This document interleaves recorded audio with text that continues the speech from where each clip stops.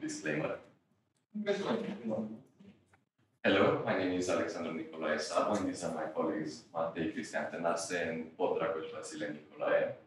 And today we would like to continue our journey which we started last year in efficient managed in efficient waste disposal. Uh, First, I, we would like to get some things out of the way. First are the challenges currently faced in urban waste management, such as growing urban populations, which leads to increased waste gener- gen- generation.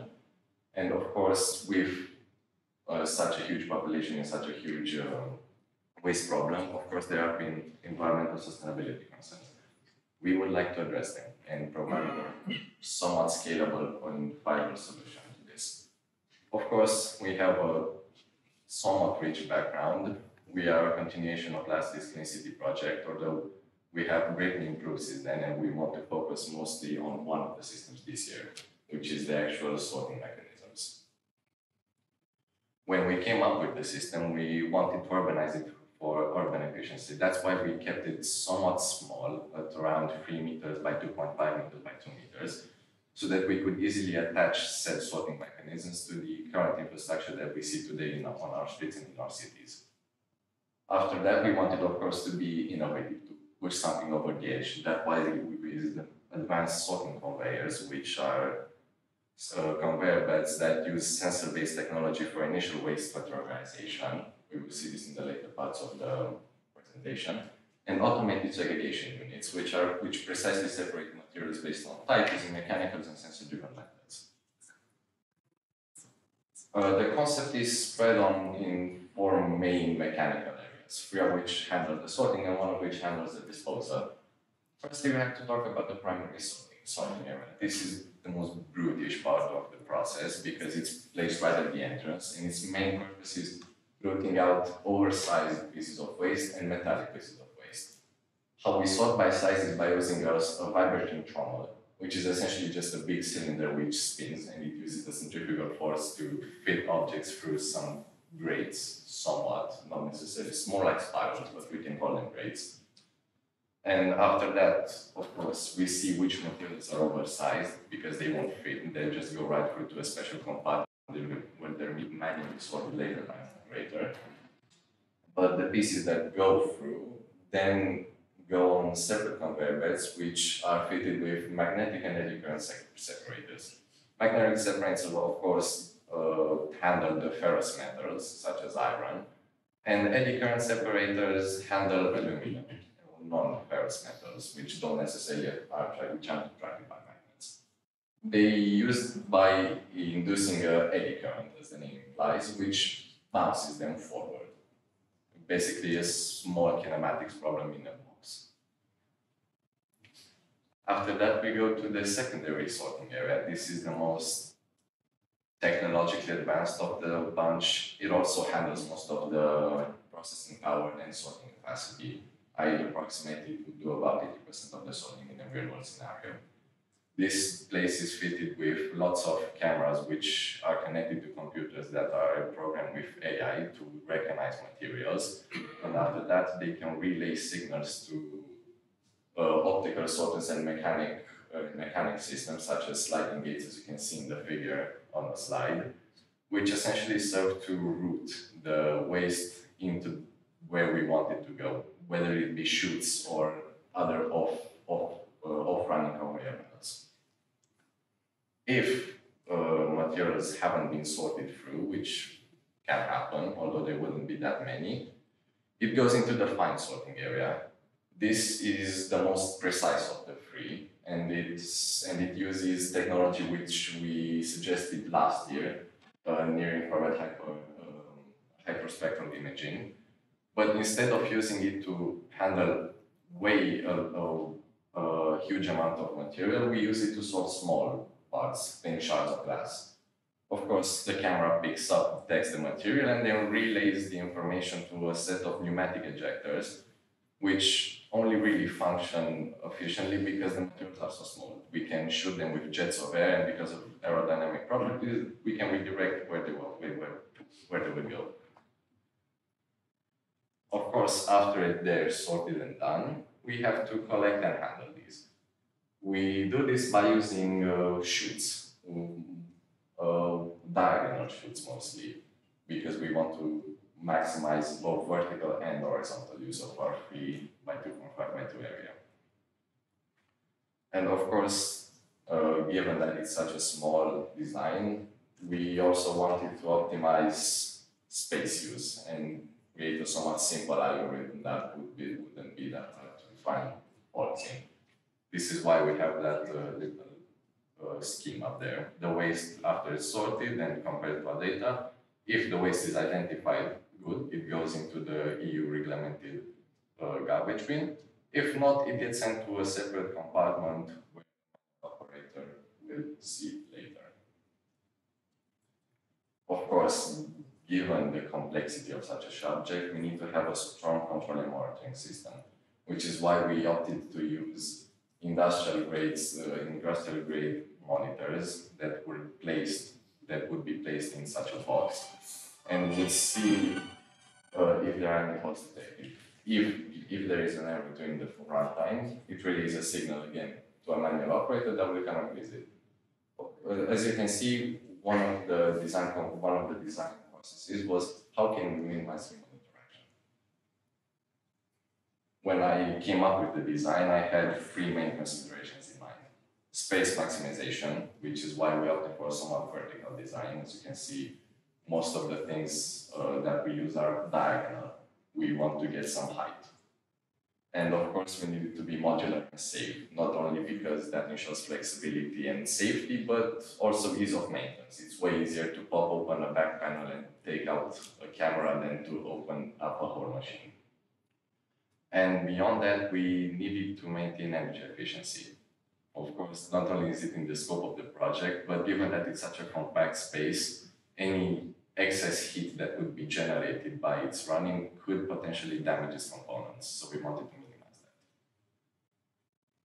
Now, uh, you might have noticed that the concept, idea, and the components needed for it are extremely expensive. Like, uh, we estimated that the price of the full concept would be somewhere around $400,000, if I recall correctly. Because of this, um, we decided to um, um, try and create um, something, uh, create a prototype for something we can uh, create without um, uh, buying such expensive equipment.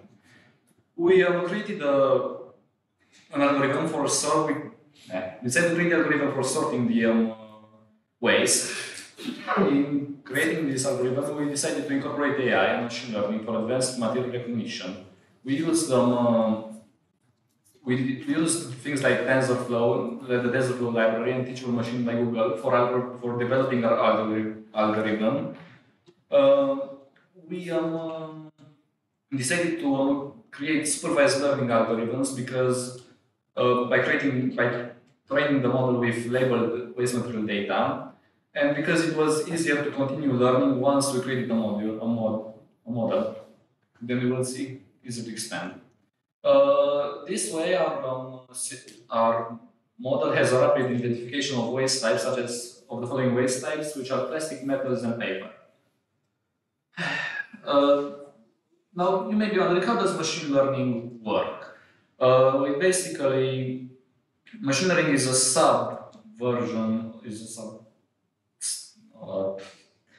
sub um, subspecies uh, of AI learning, and um, it basically is separated in three types.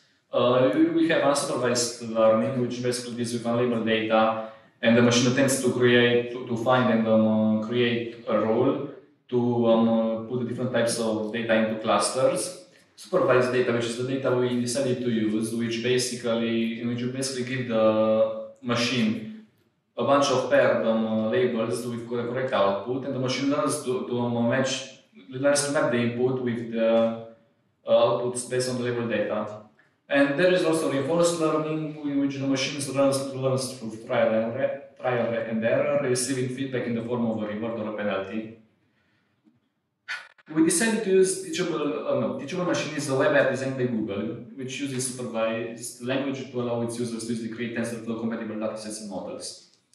We decided to use uh, the, um, Teachable Machine because it was, it is a far, it was a very accessible and easy to use on a date uh, mod, model creator, and because of its high level precision, most of the time we um, because of its size precision, precision. sorry. Uh, here you can see how we created the model and um, how it works, recognizing the three different um, types. Um, we use that uh, we use TensorFlow to um, input our data into code. Uh, TensorFlow is an open source library made and developed by Google uh, for machine learning and AI models. Basically, um, distributes strategically the processing power and um, compares to the saved model, and it can be used in multiple different um, uh, languages, coding languages. Uh, in our case, we use it with Java. Um, yeah, our prototype's design is uh, simple yet efficient in uh, showing that our way of thinking and implementing are actually correct. If, uh, we uh, try to show with this prototype that our uh, the detection method really works. Uh, the prototype is made out of verification box. That's where we input our waste then the video camera will detect it. The RevCore hex motor uh, handles a trapdoor that allows the waste to go in, uh, in uh, compartment uh, that's uh, labeled metal, paper, plastic, or other. The RevHD hex motor manipulates uh, those four compartments. Everything is connected to the control hub. Uh, that's uh, basically the brain of our prototype. It was developed by Rev for the first tech challenge competition that our colleagues uh, told you about earlier. Uh, we developed this prototype in uh, the lab of our robotics team, and uh, here is a working video of our prototype.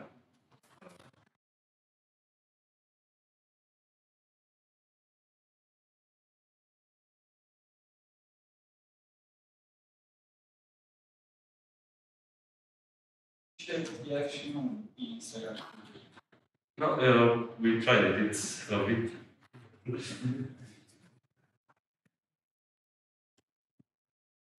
Uh, well, uh, you can see in the picture uh, the four uh, uh, compartments and uh, the small room for the waste. Basically, what the basically what you should have seen in the video our uh, colleague uh, introduced a soda can, cardboard box, plastic bottle, and then some string. Uh, the string is the only object that cannot be identified by our code, so it will go in the other compartment.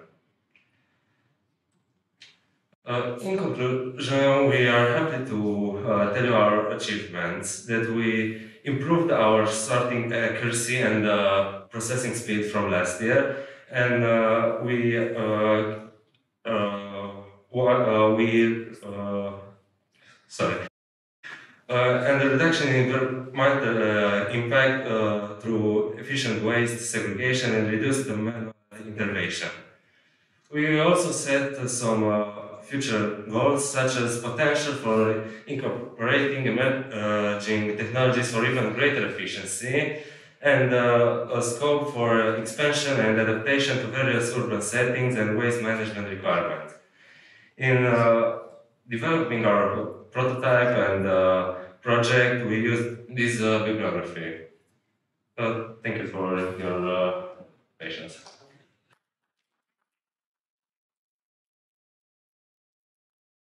uh, patience. rugăminte, se poate să ne răspundeți în română la întrebările pe care le adresăm. Oricum, o mică problemă că m, ghinionul face, sau nu ghinionul până la urmă, că vă cunosc, Ilica și cu George, dar nu v-ați prezentat, sunteți în clasa 10 ca și colegii voștri, așa? Aia, am uitat să vă întreb pe voi, sunteți foarte familiar și credeam că toată lumea știe că sunteți în clasa 10 uh, și voi sunteți în clasa 10 Așa. Bine, că trebuia să facem această precizare. Uh, și acum, ce să zic, uh, o întrebare ar fi, uh, și voi aveți un concurs la care să participați cu un astfel de robot? Sau voi îl faceți doar de curiozitate, de plăcere? Ok? Bine, nu e o Noi am început mai degrabă proiectul din, din plăcere și ne aveam, aveam o idee bună și am zis că dorim să o dezvoltăm. Acum, faptul că participarea la concursuri de tip X și eventual cu educație sunt pur și simplu un rezultat al muncii noastre și un loc unde să vedem ce mai putem îmbunătăți și ce crede lumea despre ce facem. Da. Asta e cea mai uh, complicată pe care cred că o să vă loviți de ea dacă veți uh, continua pe această idee. Va fi sortarea materialelor neferose. Acolo lucrurile stau e sub controlul uh, dispozitivelor, pentru deplasarea produsă, adică uh, reziduurilor uh, va trebui să o adaptați voi în funcție de natura materialului, de toate cele. Sunt studii, știu cel puțin două persoane care au 30 de ani au scris teze de doctorat pe această temă. De universitate. Adică sortarea materialelor neferoase prin metode sau mă rog, pe baza principiilor de a traiectoriilor în câmp electromagnetic uh, a materialelor de feros. Și mă bucur să văd că după 30 de ani există curiozitate în acest domeniu. 30 de ani unde vorbeau teoretic despre posibilitatea de acest gen. Acum, le pas să se concretizeze cu siguranță că sunt și soluții deja la aceste tipuri de abordări și, cu siguranță, experiența voastră și tinerețea voastră și timpul pe care îl puteți aloca sunt uh, benefici și sunt fericiti. Mulțumim încă o dată.